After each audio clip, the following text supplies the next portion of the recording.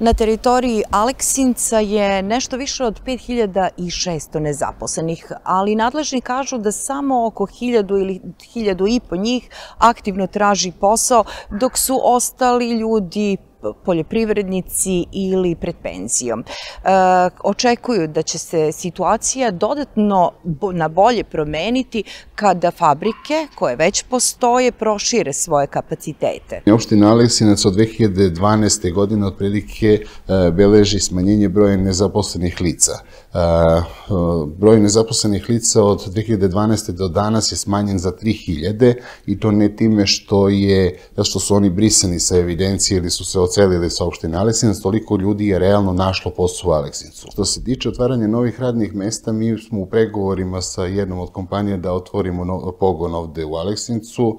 To je kompanija koja ne radi do sada na teritoriji Srbije. Još uvek smo u fazi pregovora, nadam se da ćemo i uspeti da do kraja godine to i realizujemo. Ono što je izvesno je da kompanije koje ovde rade će uvećavati broj, broj svojih radnika u toku ove godine i u toku narednih 3 do 4 godina. I ono što, ja, što mene posebno raduje jeste da naše domaće kompanije, odnosno porodična preduzeća koja su prevazišla porodična preduzeća i postale su ozbiljne firme sa po 50 do, do 100 zaposlenih i oni rastu i primaju nove radnike sada u Aleksincu.